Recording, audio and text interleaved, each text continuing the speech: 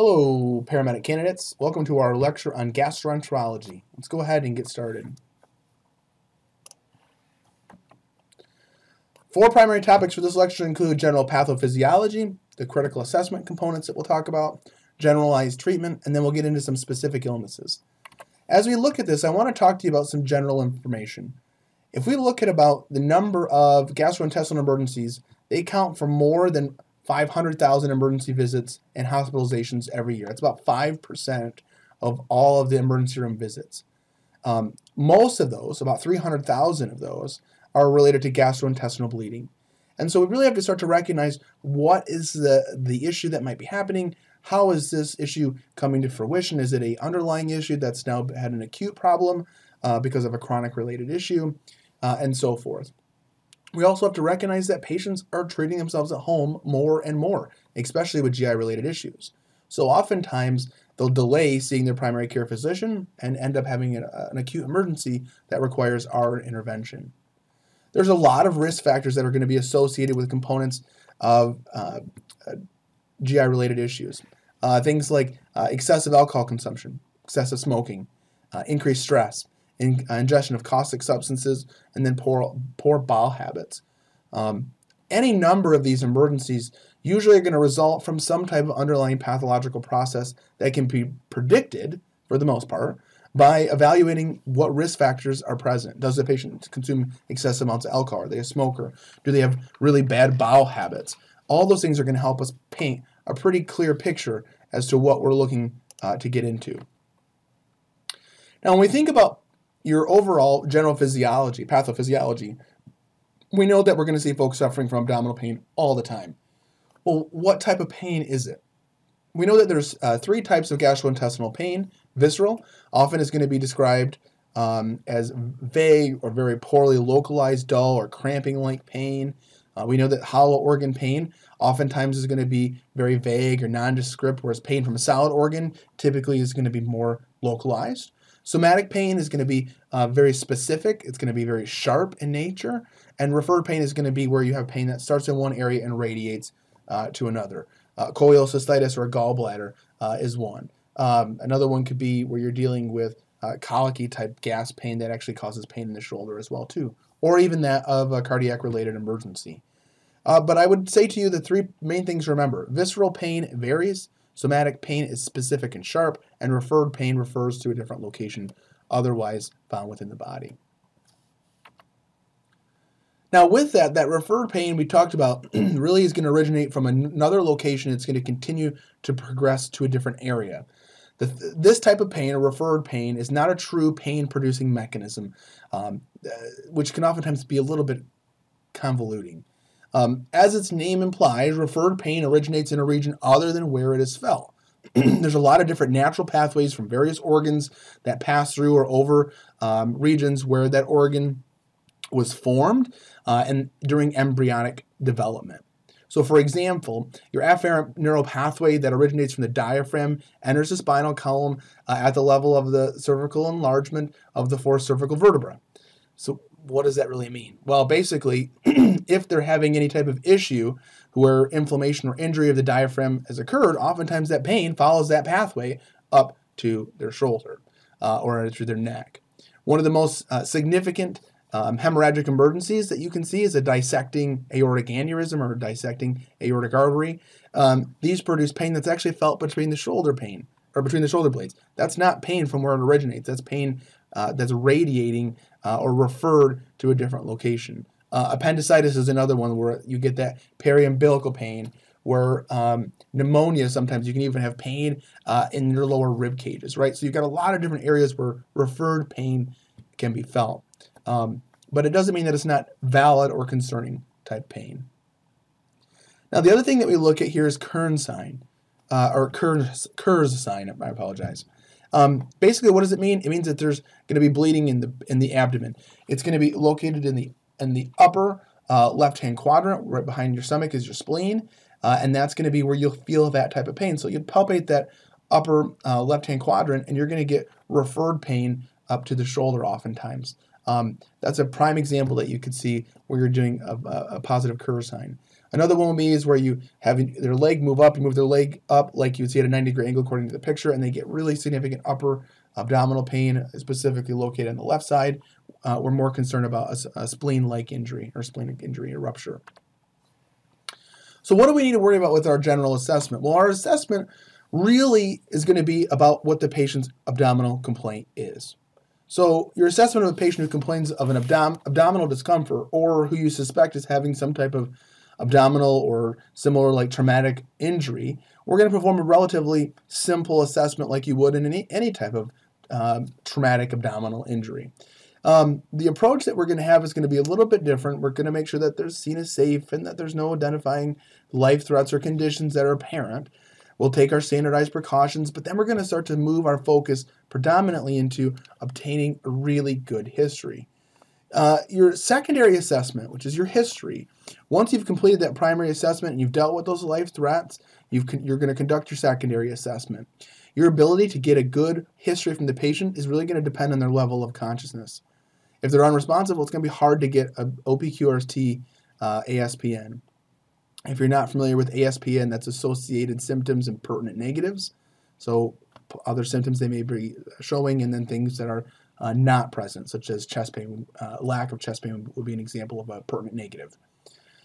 But we've got to make sure we can try to gather the history either from them or from the scene itself in order to be able to identify what issues might be going on. That includes things like looking at emesis. That includes things like uh, making sure that we have an understanding of their bowel movements, their history, um, for female patients, maybe it's going to be related to a gynecological uh, issue or their, their uh, menstrual cycle. All those things become pretty important overall. You're going to find that that referred pain chart here, both anterior and posterior, are going to be pretty helpful for you because it's going to let you know where those different pathways where that referred pain would travel to. Again, the majority of them we'll discuss as we go through the specific medical emergencies.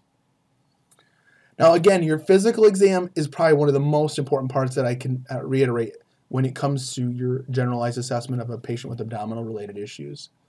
While you're conducting the history, you can also begin to conduct the physical exam. Use your patient's general appearance and their posture uh, are strongly going to uh, indicate the amount of distress that they may be on, how serious their complaint is. Um, if they're in a fetal position and they're hard to respond to you, that's going to give you a better clue that they're suffering some severe pain versus if they're just kicked back and saying, yeah, my, my stomach hurts. We also know um, we want to pay attention to the potential uh, for shock related symptoms to develop. Remember, when you have an individual who's suffering from a GI bleed uh, or maybe even an acute assault of trauma uh, to the abdominal cavity, bleeding does not pop up immediately. We have to be on the lookout for that. So we must continue to monitor our patient's level of consciousness and watch for any subtle changes that may show signs of shock. We don't see massive bruising develop instantly on these patients. It does take time for that to be able to occur.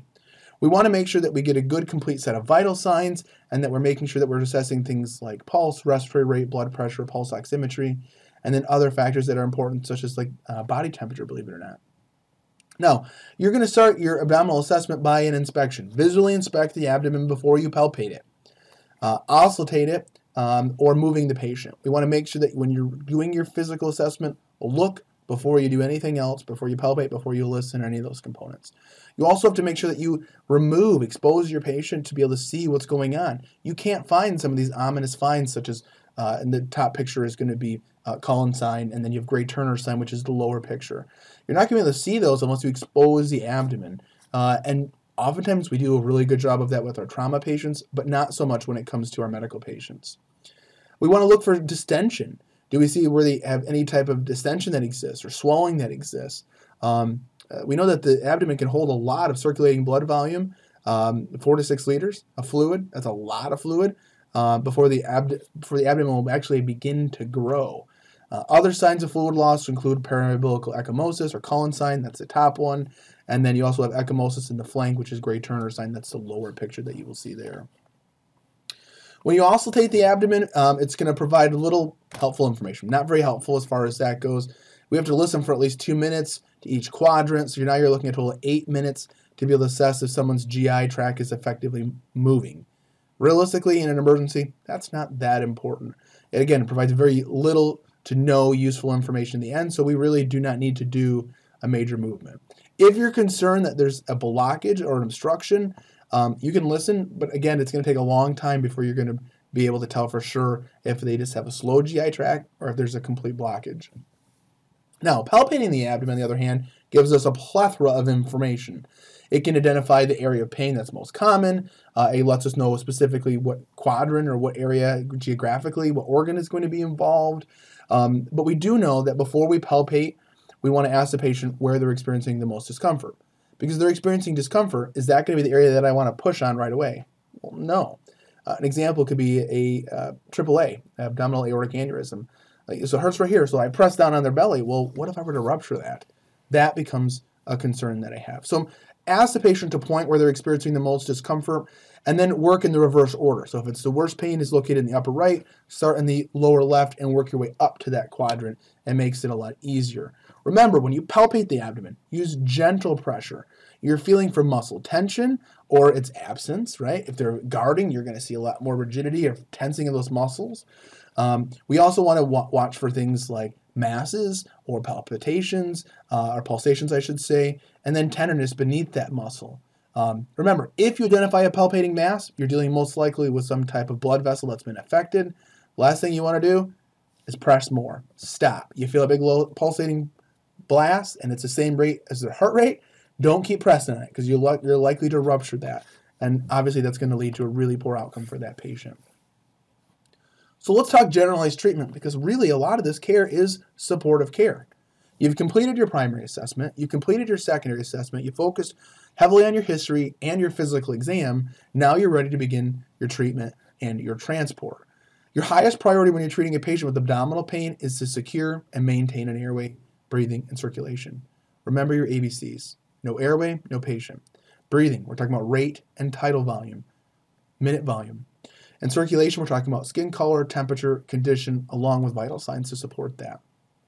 Now, be prepared. If your patient vomits, and again, when you're dealing with a GI related issue, vomiting is a very common occurrence. You need to make sure that you're prepared to suction the airway from vomitus or even blood for that matter if we're dealing with an upper airway uh, issue or even like a, esophageal ruptures or a Mallory uh, Weiss tear. Now, the other thing we need to make sure is pay attention to their mental status because we know that the circulatory system and their ability to maintain is going to be focused based on that adequate perfusion that we typically see, right? So make sure the patient's awake and conscious and constantly evaluate their mental status. Also, we want to make sure the patient is placed in their cardiac monitor, that we're frequently assessing their blood pressure. It's a good indicator of their uh, hemodynamic stability.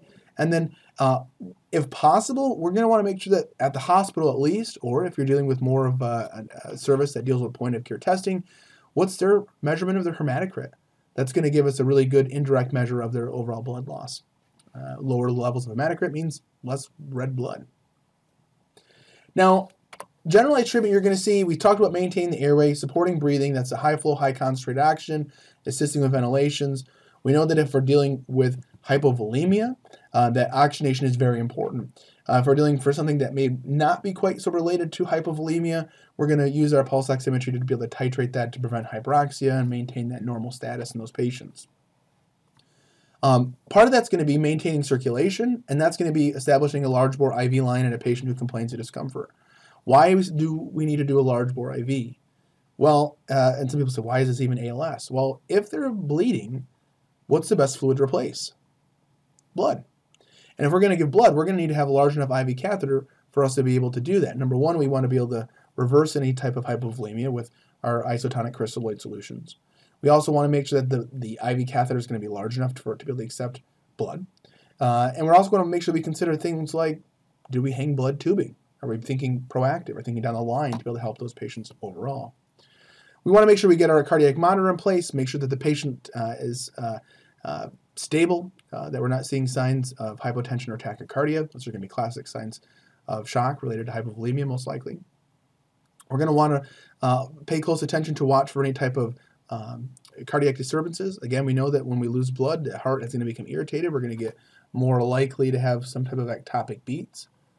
Um, and then we want to make sure overall that our patient is comfortable, that they're placed in a position of comfort. The best way to do that is going to typically be the fetal position, right? Let them kind of be able to curve curve up a little bit by drawing their knees up or placing your your cot in that knee flex position will actually loosen, uh, or not loosen, but re- reduce the amount of tension that's on those abdominal muscles, makes them a little bit more comfortable as best as we can, and then provide that emotional reassurance.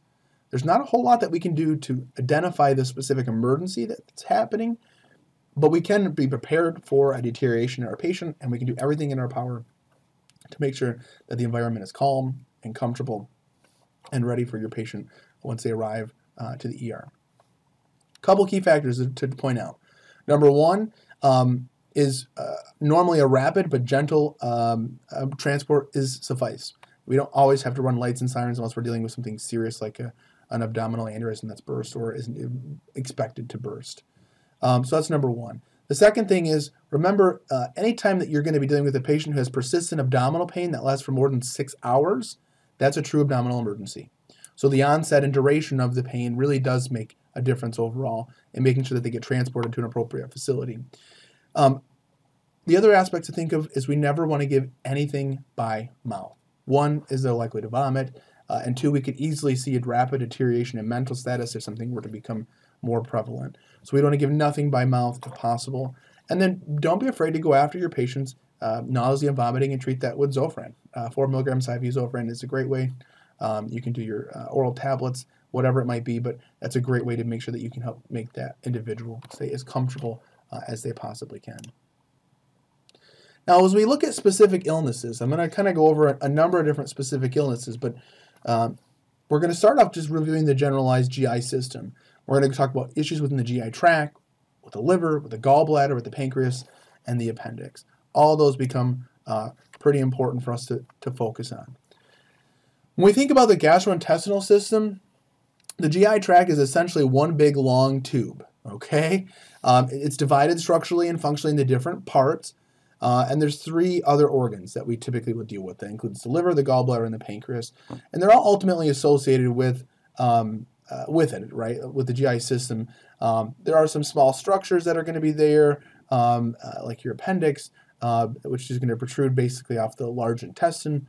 Still trying to figure out exactly what the appendix does for an individual, but it is one of those things that we want to be able to kind of watch out for.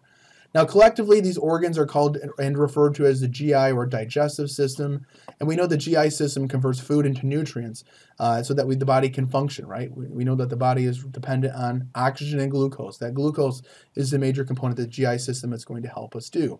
It also is there not only to give us nutrients, but to eliminate wastes from the body, solid waste and liquid waste from the body. Predominantly, when we're dealing with the GI system, we're talking about the solid waste. Again, you're going to see it starts in, again, the tip of your lips, tip of your nose, uh, predominantly your lips, your GI tract. It's going to travel all the way down. You are literally one just big tube of guts, uh, as, you want to look at it that way. So let's talk about some upper gastrointestinal uh, diseases.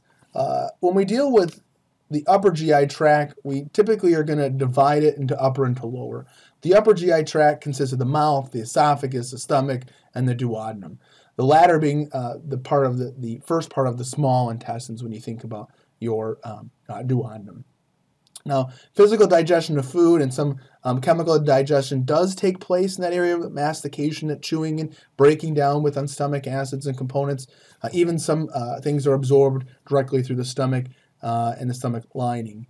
Um, but physical digestion of food um, really happens more so in the lower GI tract as, as it travels um, through the large and small intestines. We know that nutrients are absorbed into the blood and solid wastes are formed and then excreted as, uh, as a stool through the form of a bowel movement. Uh, interestingly enough, you know that as your organs are going to, you're going to begin that process of uh, digestion. You eat, you swallow, it goes through your stomach, to your duodenum, and then it's going to go um, from there down into the small intestines. The small intestines are going to be what really is going to uh, draw out all of the nutrients uh, that, that exists. And then from there, uh, as it travels through the large intestines, the liquid portion uh, is reabsorbed. So any liquid that can be saved uh, is then saved, and that obviously leaves us hopefully with an, a normal style of bowel movement. Now, if we look at the upper GI bleed related issues, which are pretty common, we're talking about issues in the stomach, the esophagus, the stomach, and the duodenum. So upper GI bleeding can be defined as bleeding within the gastrointestinal tract that's proximal to the ligament of Treitz, um, which is what supports the duodenal junction, which is basically the point where we separate the upper and lower um, GI, right? It's the, the section where the duodenum and the and the small intestine are going to start to come together. Now, upper GI bleeds account for about 300,000 hospitalizations per year, as we talked about at the beginning of the lecture. The mortality rate has remained fairly steady at about 10% uh, of individuals who suffer from those will actually die from a GI bleed. So, not everybody dies from it, but there are a lot of factors that contribute to high mortality in general. Uh, first is the number of patients who treat their symptoms with those home remedies, right? They do it with over the counter medications. Um, we see them more over the counter medications that were at one point in time prescription are now available. People are trying to deal with that early on, whether it's Tums, whether if it's antacids, whether if it's uh, antidiarrheal, uh, any of those things where they think that that's the, you know, oh, I've got stress in my system and that must be the cause, when in all reality, they have an onset of Crohn's disease. Uh, those are going to be some things that we take a look at. Secondly, age is another major issue. We know that as we age, your body doesn't do well with a disease, especially if you have other underlying um, comorbidities or core co-diseases. So those are some things that we really have to be able to closely pay attention to. Now, out of those folks that are likely to have an upper GI bleed or a GI bleed in general, knowing that's more prevalent than anything else in our GI lecture, what causes those? Well, there's six major identifiable, identifiable causes of GI hemorrhage. Um, and we'll look at these in descending order of frequency. So, what is um, uh, uh, more frequent versus less frequent? One of the big ones that we see are peptic ulcers. Someone gets an ulcer disease, uh, stress, cigarette smoke, alcohol consumption, all those things can lead to ulcers, uh, as many of you probably already know. Uh, gastritis, where we get inflammation of the gastrointestinal tract. That's another one that can be caused by be eating bad food with bacteria in it. Uh, it can be caused by excessive vomiting, uh, uh, or upset stomach, excessive acids, anything that could be caused by a number of other different components. Um, a variceal rupture is also referred to as a Mallory, Mallory, Mal, I can't talk, Mallory Weiss tear. Um, I've got some uh, images that I can show you from uh, uh, one of our adjunct instructors who actually had a Mallory Weiss tear from excessive retching, excessive vomiting. Um, we also see things like um, Esophagitis and duodenalitis is another one where we're again getting inflammation of, of the specific organs of the upper GI system. Now, most of these, you're going to see peptic ulcers, right? That's probably 50% of the upper GI bleeds we deal with um, uh, is going to be associated with peptic ulcer diseases, where they have an ulcer, it's a sore, it bleeds, uh, and it can become irritated very easily, and that bleeding can lead to an upper GI bleed. Most of the upper GI bleeds are going to be because of chronic irritation or inflammation of, of those underlying issues, right? They typically either have like minimal discomfort or they're going to have maybe just a minor bleeding, but it's a issue that's been going on for a very long chronic period of time, which raises its head when an acute problem develops because it's been left unattended for so long. Now, most cases of these um, are going to be irritation or erosion of the gastric lining of the stomach. It causes about 75% of the upper GI bleeds that you're going to see. Now, realistically, your physicians can manage these conditions on an outpatient basis, but these folks are not going to the doctor. They're not the like they're not the individuals that are on top of their routine health care. Um, so that leads to an acute onset of a life-threatening and difficult to control, like hemorrhage, when we deal with an upper GI bleed. Now, a lot of these signs and symptoms that you're going to see are going to be pretty consistent as uh, overall. Um, you're going to see uh, things like generalized abdominal discomfort. You're going to see things where it may be like a vague or burning or an upset stomach. Sometimes it's like gas pain. Uh, it could be a tearing pain and sensation.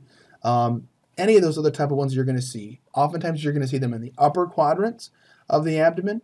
Uh, you may see situations uh, where they present with nausea, vomiting. If there's a significant bleed of the GI system, uh, you can get components where you're having uh, hematemesis, right, where they're vomiting up blood, bloody vomitus um, as it passes down. That's if it's not fully digested. If it's gone through the lower GI tract, well, now you're going to be dealing with the small intestines on down. Now you're going to get melena, which is going to be an example of a black tarry-like stool, where that stool has been partially digested blood, right? And that's the way in which that it comes out. So concerns that we have, even though it may be an upper GI bleed, do they have changes with signs of vomiting of blood or any type of signs of digested blood, that hematemesis or that melena. We're also going to pay close attention to common signs of coffee ground stool. That's another really common one, especially if they're having loose stool. If it's not black and tarry, oftentimes uh, you're going to see where you're going to have blood in the emesis uh, or, or, blood in the GI tract uh, that's digested, and that looks like that coffee ground emesis if they're vomiting up that that aspect. Um, we know that the upper GI bleeds may be light. Um, uh, they may be uh, brisk and life-threatening. There are a lot of major concerns that we have. We know that shock is one of the biggest concerns that I have. These types of hemorrhages can lead to classic shock symptoms, right? Alterations in mental status, we're talking about, tachycardia, peripheral vasoconstriction. They're going to be excessively diaphoretic. They're going to have a lot of problems with uh, skin color, temperature, and condition, and ultimately become hemodynamically unstable. Now, besides shock, we know that vomiting itself can be a major airway compromise. So we want to make sure that we're paying close attention to their airway. Uh, is there any likelihood that they may have aspirated? Um, and if not corrected properly, when you're dealing with hypovolemia and signs of shock, along with vomiting and aspiration, it could ultimately lead to respiratory arrest and or cardiac arrest. Now, one of the also also more uh, frequently uh, employed clinical indicator is going to be the tilt test. Now, we don't generally do this a whole lot in the pre-hospital setting, but orthostatic vital signs are an important indicator to their overall stability.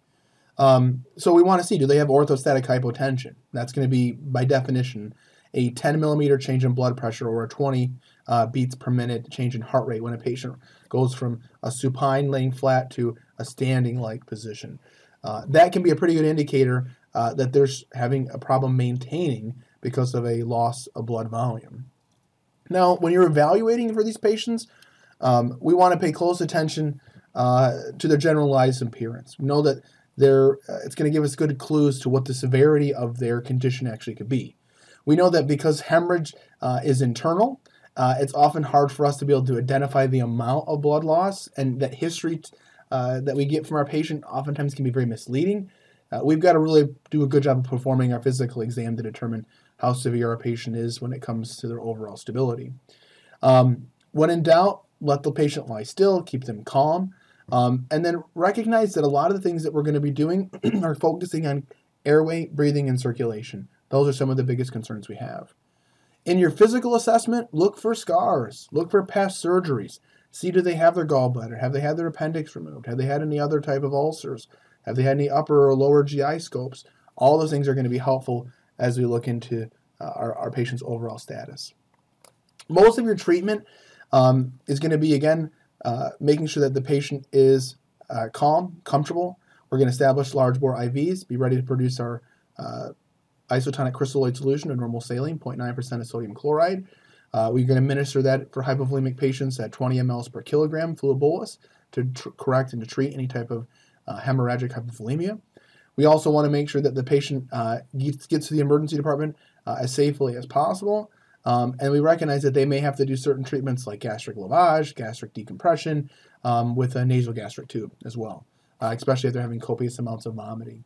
Um, but really, a lot of those things are going to be things that focus on after our care is there. Our goal in this is to be able to differentiate life threats from chronic problems. You can have a life threat from a chronic problem with an acute onset. That's what we want to focus on. What is the underlying problem that's going on today? What was the acute issue today, and what caused that based on our history gathering?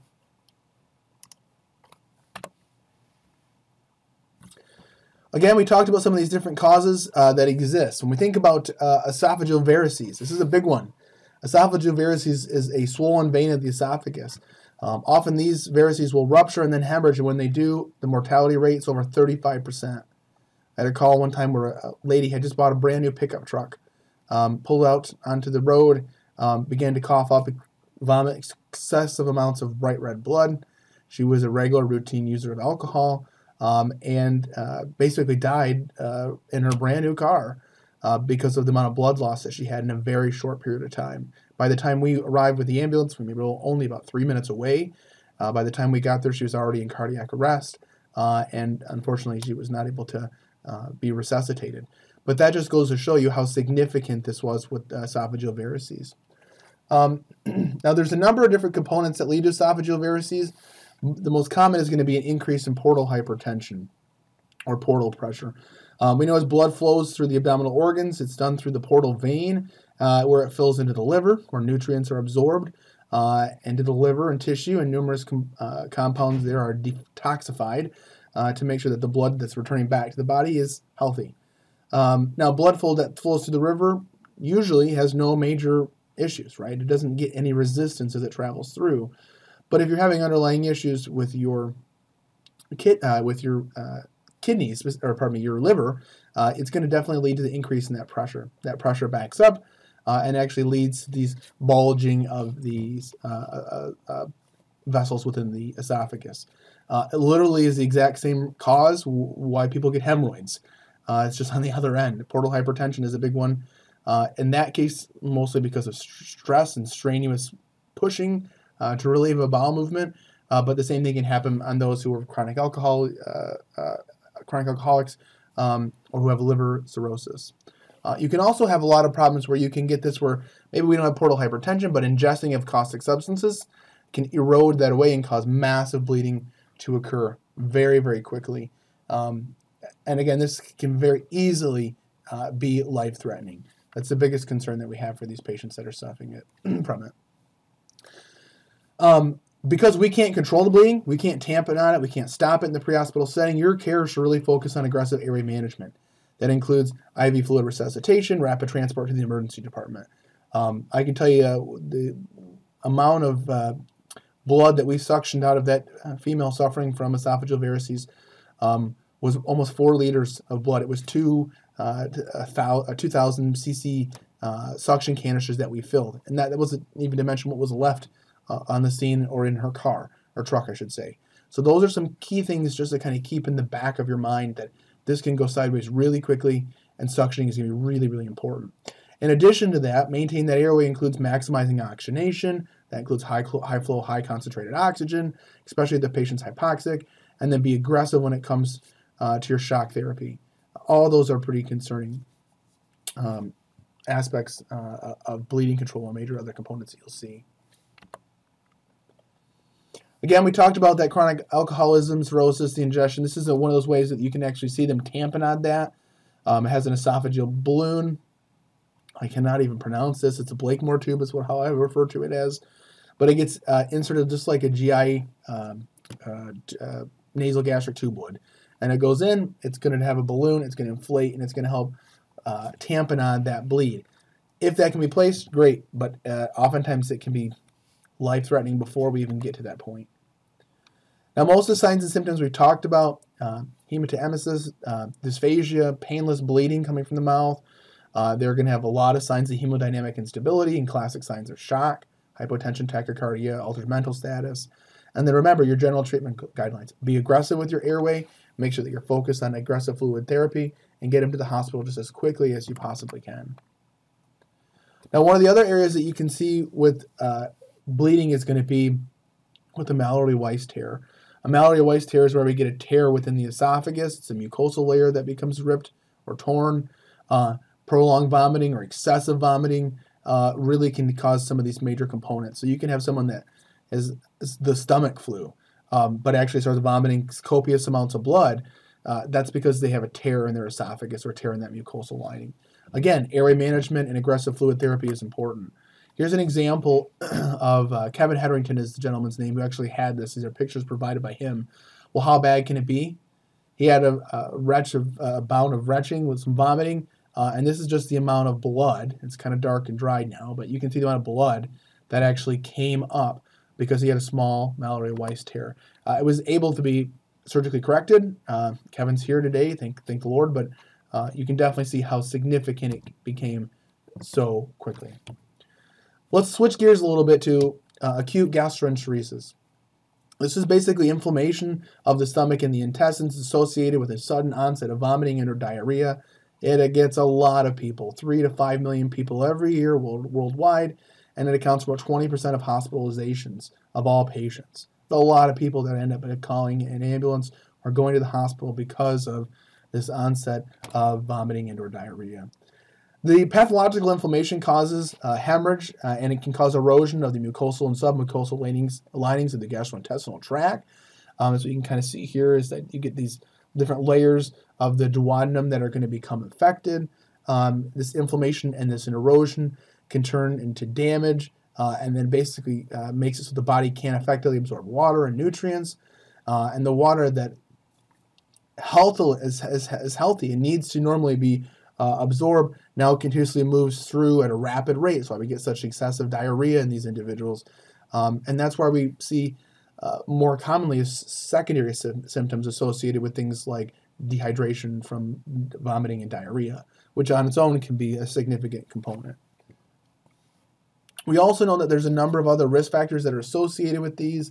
Um, those that use tobacco or alcohol, again, chemicals, uh, ingestions, things like NSAIDs, or uh, even uh, certain types of chemotherapy if they're getting radiation. Um, any of those things can be major risk factors that can lead to problems with acute gastroenterosis. Um, and it's usually rapid and it's pretty severe um, when we're dealing with these individuals.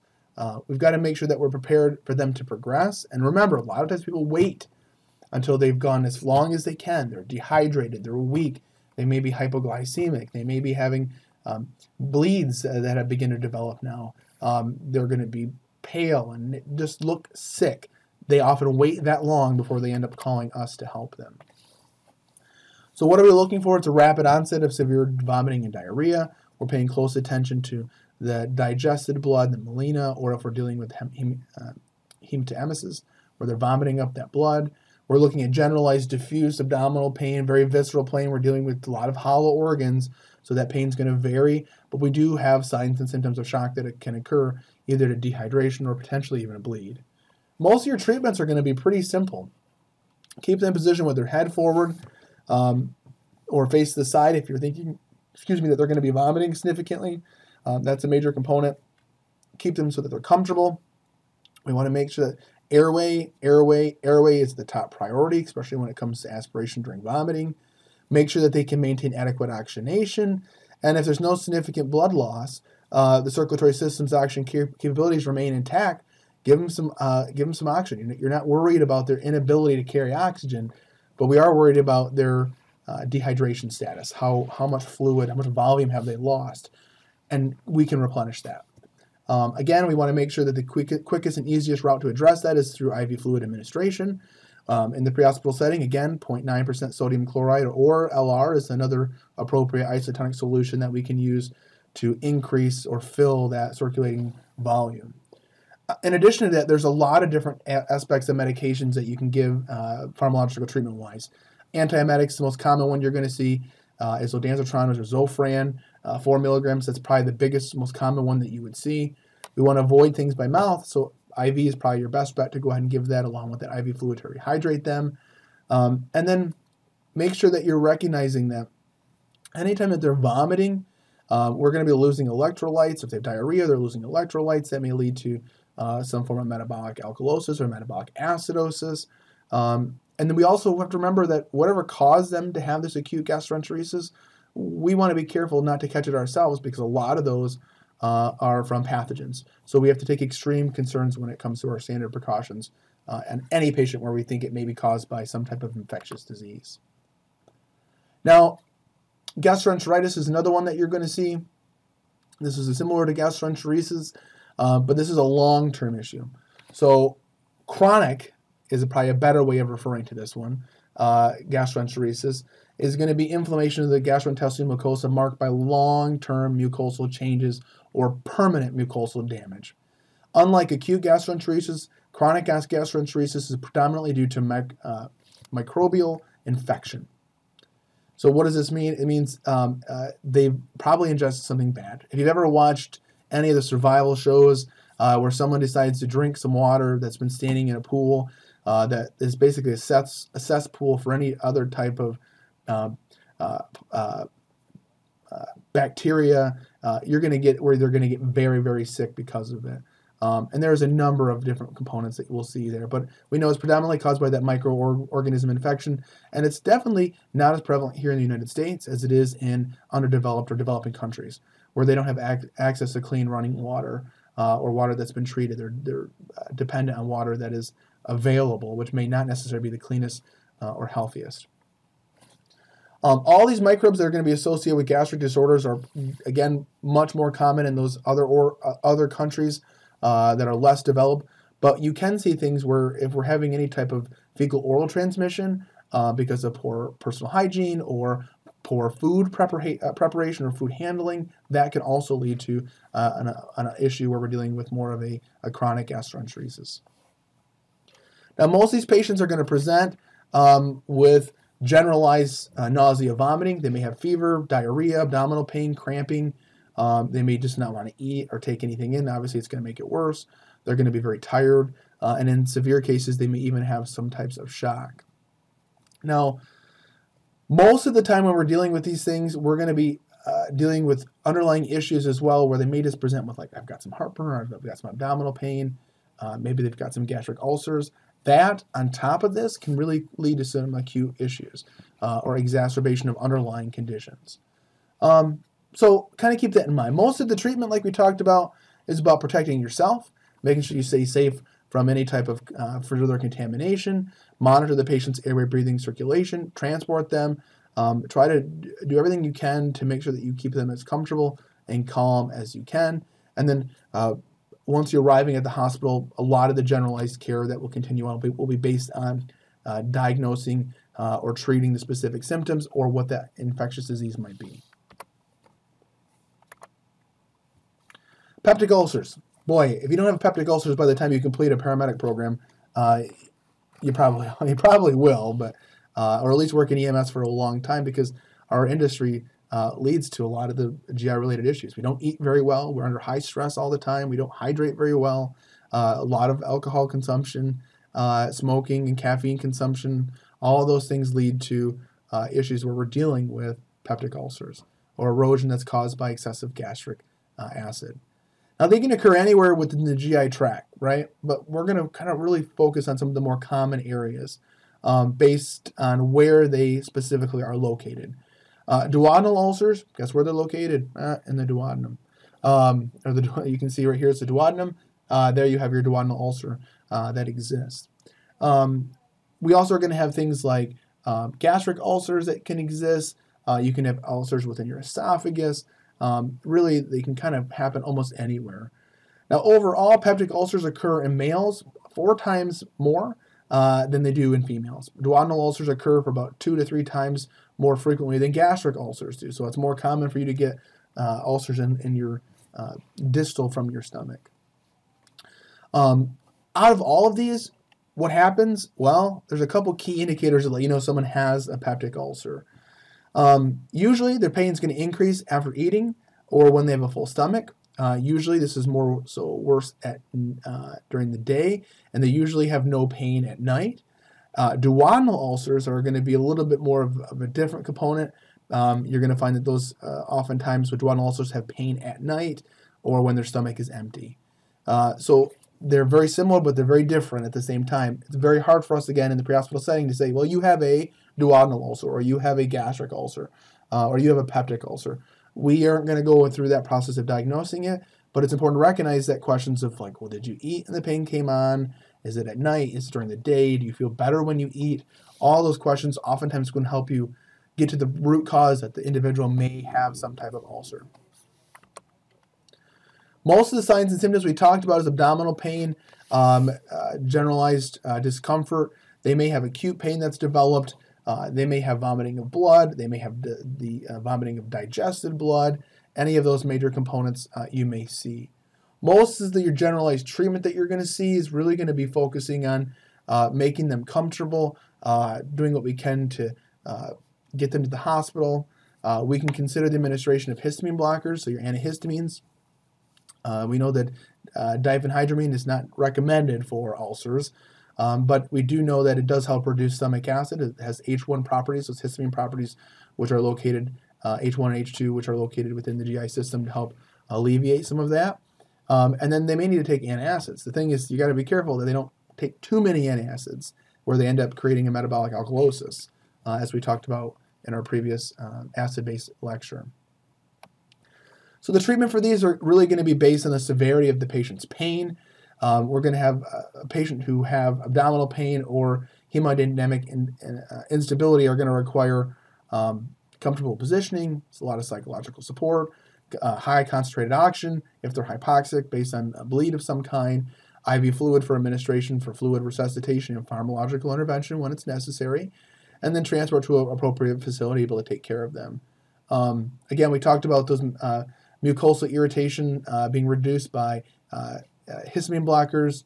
Um, those are probably the more common ones, or you'll see where you'll have protein pump inhibitors um, like Prilosec, uh, uh, any of those other ones that you may commonly see over the over the counter. Nexium, those all help reduce the amount of acids produced in the stomach, and antacids as well too, like Tums or Rolaids, things of that nature. Again, our care is going to focus on making sure that they're comfortable, airway is protected, and we transport them to the hospital. Uh, peptic ulcers, when we're dealing with peptic ulcers, again, it's erosion caused by gastric uh, acid. Um, you have Zollinger-Ellison syndrome, um, basically is where you get this buildup of tissue um, because you have excessive hyperacidity. Uh, you end up getting duodenal ulcers that are beginning to develop, uh, and then it can actually lead to uh, impacts of the pancreas as well too, because it's constantly secreting lots and lots of gastric juices to be able to help break down um, whatever they're eating. Well, that can lead to some issues with uh, ulcers as well, um, especially if you're dealing with a blocked pancreatic duct where they can't release those major components. Lower GI bleeds occur in the GI tract that are going to be distal to the ligament Treitz. Uh, the lower GI hemorrhage uh, generally occur more frequently in conjunction with other chronic disorders and other anatomical changes associated with advanced aging. So, getting older or having underlying issues all become pretty common. Uh, again, we talked about some of those more common associated issues that you're going to see. Now, your assessment as you're dealing with these patients, your assessment for lower GI bleeds really should be focused on a on uh, well, in essence, should be identical to your assessment of those that are upper GI bleeds, for that matter, because we really can't distinguish between the two in the field on our own. But after you've completed your primary assessment, you've treated any life-threatening conditions, you move on to your secondary assessment. First, ask the patient whether this is a new or a chronic related issue. If it's a chronic related issue, check the abdomen visually for scars from previous surgeries, and, and then what other type of frequent complaints have they had? Um, maybe they've had cramping or other issues, gas-like pain, nausea, vomiting, or even changes in their stool. We know that um, melanic stools are usually going to be associated with a lower GI bleed, uh, and if the stool contains a bright red blood, uh, the hemorrhage is either very large, just as passing through the intestinal system before it actually can be digested or broken down, or we're dealing with something that's occur on the distal end of the colon where it's more of an acute onset of a related issue. We also know that later causes uh, can be things like hemorrhoids. Uh, hemorrhoids oftentimes are going to lead to that progressive uh, blood that's in the stool, but oftentimes it's going to be associated with blood on or around uh, a normal bowel movement. But folks are going to call for both and not be able to tell if it's a hemorrhoid or if it's an actual uh, true lower GI related emergency. We know that we want to follow our generalized treatment pattern as we have for anyone else, watching for early signs of shock. We're less worried about upper airway, but we're definitely worried about fluid loss, blood loss, all those things that are going to lead to that onset of hypovolemic shock. Ulcerative colitis is classified as an idiopathic inflammatory bowel disorders or IBD. That's basically it's one that's of unknown origin. We really don't understand exactly where or how it's developed, um, but it is something that we typically will see. Um, we know that it's going to have an effect on uh, chronic ulcers or that creates uh, continuous length of uh, chronic ulcers uh, of the mucosal layer of the colon. Um, there's a lot of factors that can lead into this. Uh, it could be psychological, uh, psychological allergic, toxic, environmental, immunological, and infectious as well. About 75% of all ulcerative colitis situations are going to involve the rectum, um, and then a portion of the large intestine as well too. And the inflammatory process usually starts in the rectum and then extends proximal through the colon, and then it sometimes also can affect uh, the entire large intestine if it can progress that uh, uh, severely. Um, and if it does spread throughout the entire colon, um, it's called uh, pancolitis. Most of the signs and symptoms that you're going to find, um, it's going to be differentiated from other uh, causes of lower GI bleeds um, because of its presentation. We really don't understand exactly what it is. We commonly will see occasional bloody diarrhea or stool that's containing a significant portion of mucus, colicky, abdominal pain, or cramping like pain, uh, nausea, vomiting. Occasionally, you may notice it with a fever and some weight loss. Uh, and then, in severe cases, obviously, signs and symptoms of shock if it progresses uh, to that point. Uh, most cases are going to be pretty uh, consistent overall uh, with those basic components. The management really depends on the patient's uh, physiological status. Uh, we want to pay attention to further uh, shock and treat if necessary. And then, uh, again, antiemetics, uh, antispasmodic medications, especially for the cramping inside the abdominal uh, organs, can actually help out significantly as part of that. With Crohn's disease, again, Crohn's is another disease, just like idi- uh, idiopathic inflammatory bowel disorder. We really don't know what the actual cause is, but we know it does affect the entire GI tract. Um, we definitely see it more in Western uh, Hemisphere uh, than we do anywhere else in the world. Um, uh, specifically, um, uh, those that tends to have run where it runs in the family uh, and most prevalent among white females. Those typically under uh, frequent st- stress. Now, unlike ulcerative colitis, the effects of the, this affecting the large intestine, Crohn's disease can really happen anywhere within the GI tract, really from the mouth all the way to the rectum. And then you're dealing with between 35 to 45 percent of less severe cases that are going to involve only the small intestine. About 40 percent of that you're looking at are going to be rare problems uh, where we're dealing with any other abscess or fistulas that collect later on. Um, you can lead to some major issues with a lot of the damage to the muscle um, because we're getting this hypertrophy and fibrous of underlying muscle. So it's going to get hard. Uh, it's going to get very uh, inflexible. We get gran- uh, granulomas, which are going to begin to form and develop and break down and break down that mucosal and submucosal layers even more so. Uh, and then happens as it goes all the way down through the GI system. Um, sometimes you're going to deal with active lesions. Uh, you're going to deal with a, a lot of uh, scar tissue that's going to begin to form up. Um, and then it leads to tears in the blood vessels uh, and those mucus layers. And again, we're going to result in a significant bleed. Um, some of the same pathological patterns of ulcers and scarring that can lead to a creation of these fistulas, you're most commonly going to see between the lengths of the small intestine, or eventually we're going to be dealing with an obstruction of the small bowel. Um, these are all really, really major components that we typically will see. Now, how does it present? That's probably the most important aspect for us to be able to take a look at this. Um, Crohn's patients' clinically presentations are going to have a very dramatic, wide um, spread, right? The spectrum that can happen with Crohn's really depends if it's under control, if it's in remission, um, if it's managed, what have you. Um, but as the disease prog- progresses uh, generically, we know that the pre-hospital diagnosis is going to be difficult, next to impossible for you to be able to determine. But we want to pay attention to what some of those common signs are. So common signs symptoms include weight loss, intermittent abdominal cramping, abdominal pain, nausea, vomiting, diarrhea, even a fever. Now, on the onset of a flare-up, the disease is active, is rapid, it requires uh, immediate treatment because of its, how uncomfortable uh, and the amount of symptoms that the individual is going to have. Uh, you're going to find that the physical exam will produce non-specific, non-localized, diffuse tenderness throughout the abdominal cavity, uh, and absent bowel sounds in a patient with Crohn's disease is strongly indicative of an intestinal obstruction of some kind, which truly could be a surgical emergency.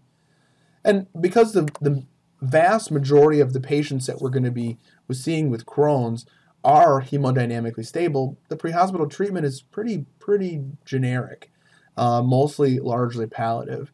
In this case, we want to make sure we recognize their psychological status, we provide them calm, uh, we make sure that we reassure them, we are concerned about nausea, vomiting uh, from an aspect of aspiration and airway control, maybe needing to administer oxygen if our patient is hypoxic. Um, good vital signs are always important. Uh, and then be prepared to administer um, uh, intravenous fluids if you're seeing the signs of dehydration and or shock.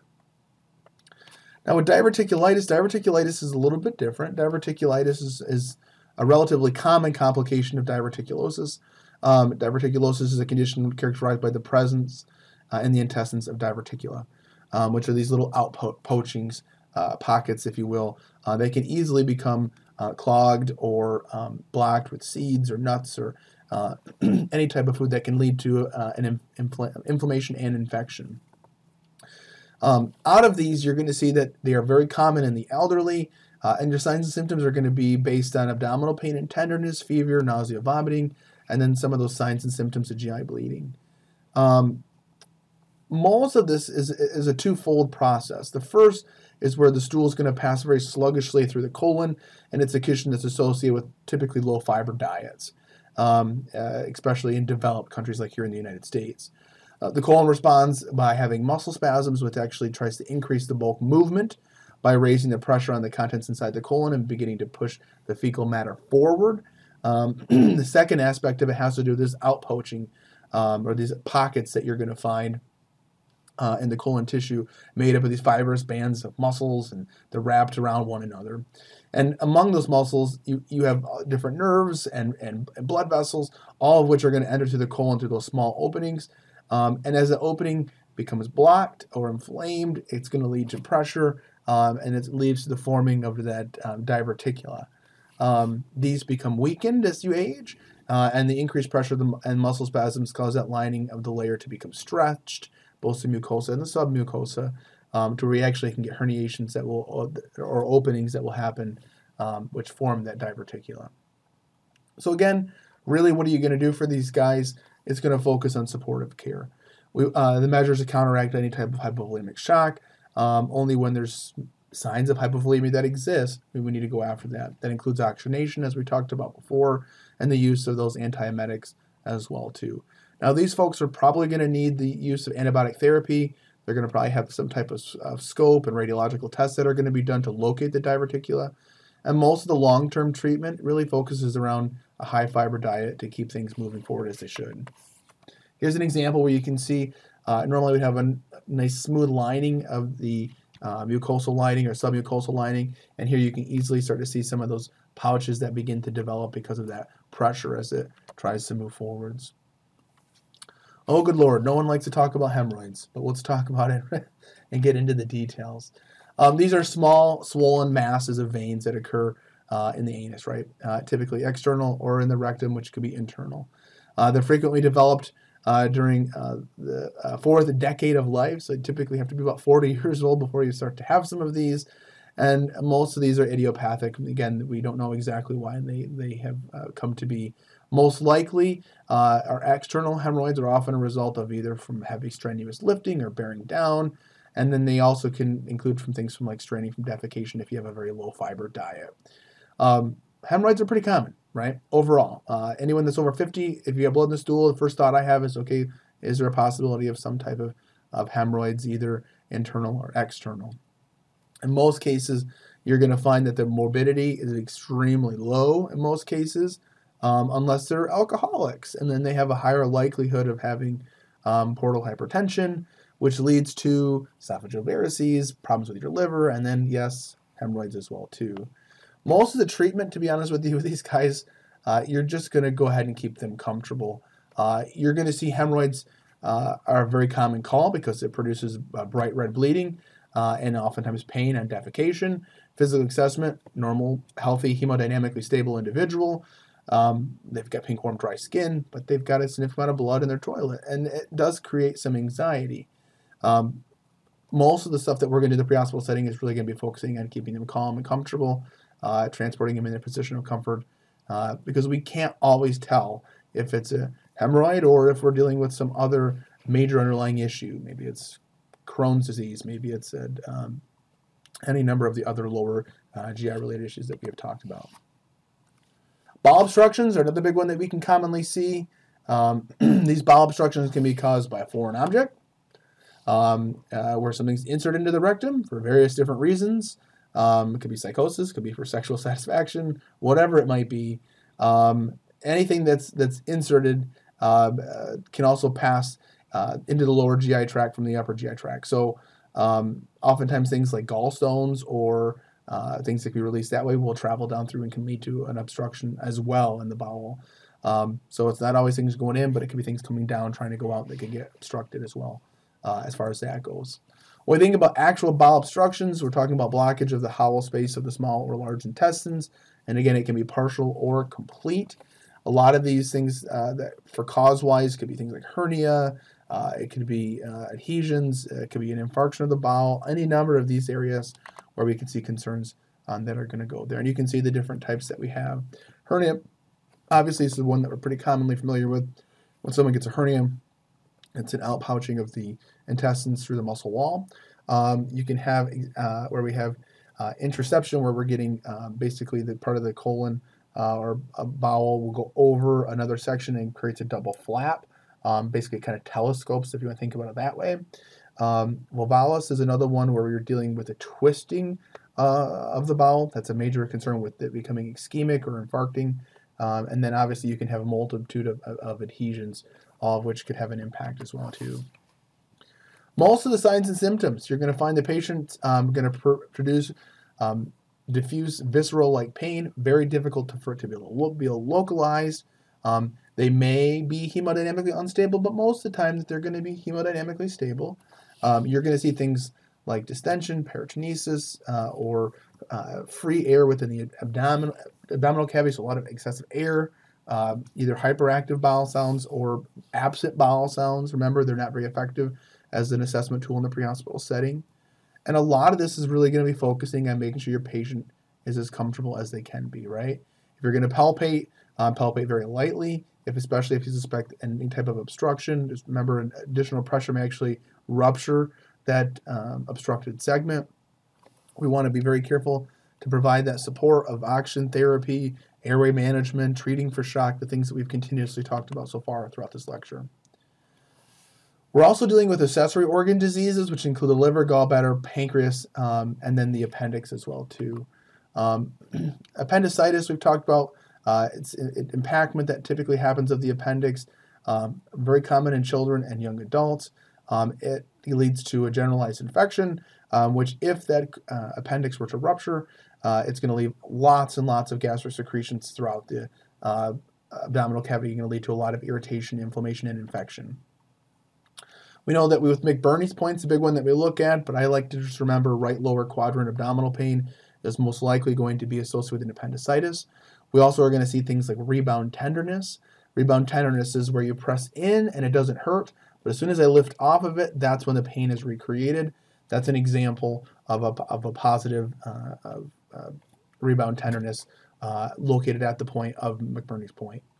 Um, most of this is going to be watching for low-grade fever, nausea, vomiting, um, it's very difficult for you to be able to tell what's going on initially, um, but we want to keep an eye that if there's a low-grade fever uh, and there's issues where we're dealing with uh, uh, right lower quadrant pain, that we focus heavily uh, into that.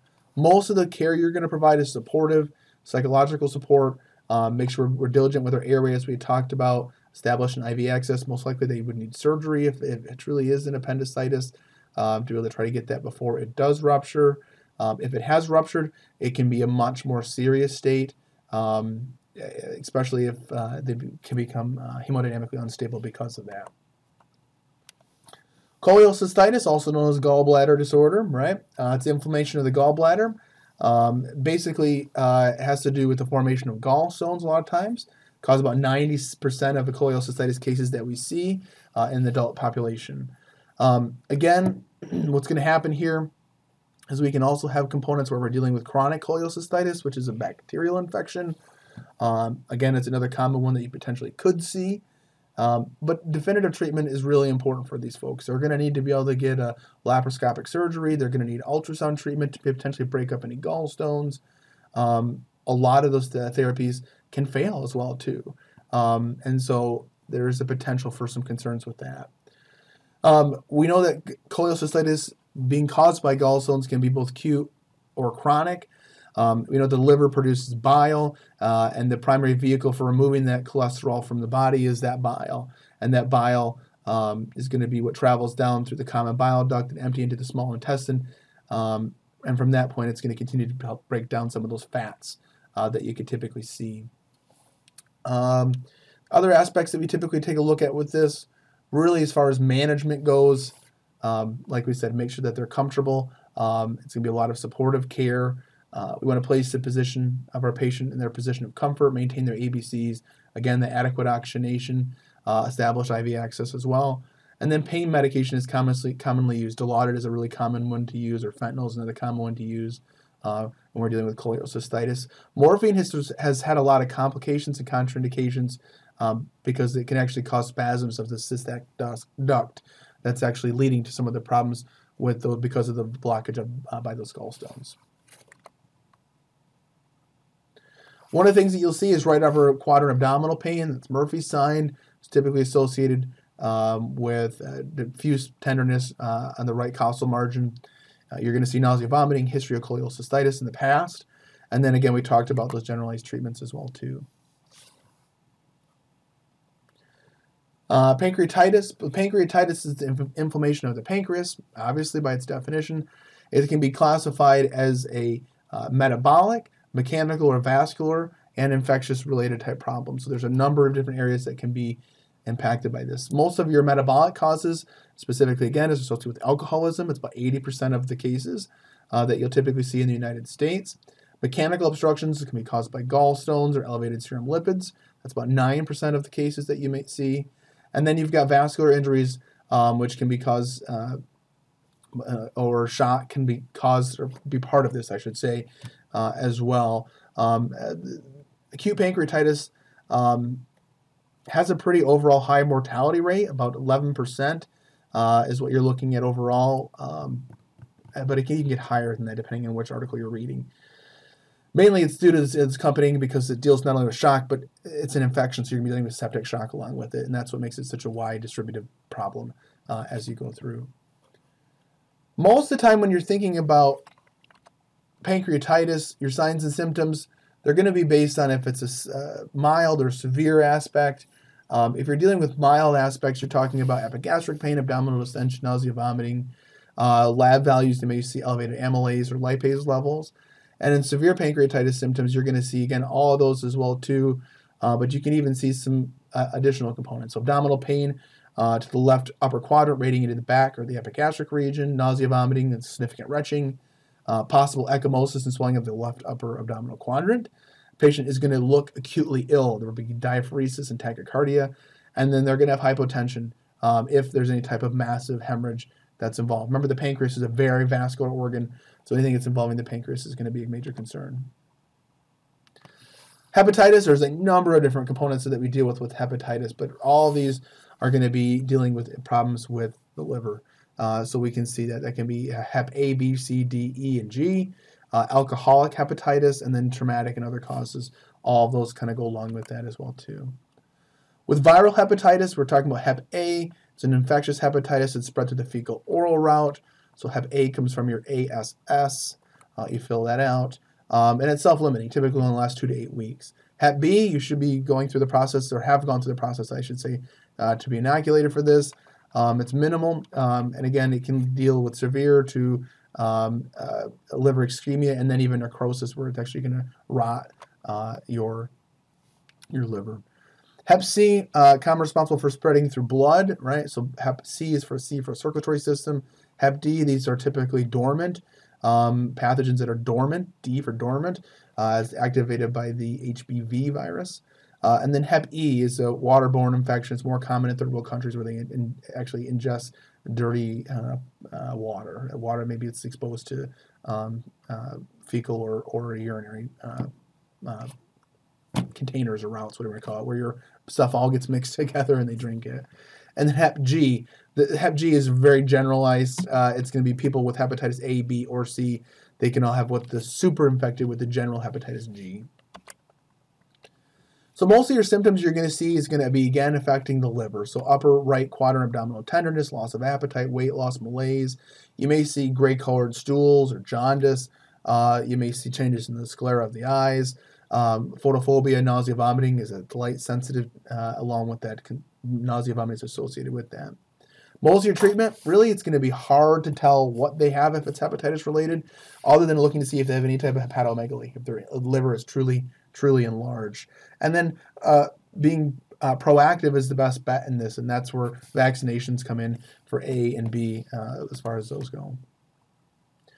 That is a lot of information uh, to try to digest no pun intended. Um, but we talked about the general pathophysiology. We talked about separating the upper and lower GI system. We know that the assessment is important. History gathering is important to determine if it's an acute or a chronic issue. Uh, and maybe it's an underlying issue that's now led to an acute problem. Uh, we talked about making sure to do the good physical assessment, right? Recognizing to inspect uh, and palpate before moving on to anything else. If there's pain in the abdomen, uh, palpate that last. Uh, and then if you feel any type of palpations or masses, stop palpating because we don't want to have any type of rupture uh, that can exist with any of our GI related illnesses. The treatments are predominantly really focused on uh, airway management for concerns of aspiration, and then making sure that we're having adequate fluid resuscitation and shock treatment in those cases where there's significant hemorrhage or a likelihood of a massive systemic infection leading to sepsis. So pay attention to closely to those generalized treatments. IVO2 monitor, uh, 12 lead for anyone who has abdominal pain is going to be really important to rule out cardiac related issues. And then we went through a lot of specific issues uh, and illnesses that you may see in the field. Again, it's not something that we're going to have to differentiate between, um, but we want to be tuned into underlying issues and if there's any progression of those diseases. Hope you guys enjoyed this lecture. I know it was a lot to swallow, haha, but we'll catch you here on the next one.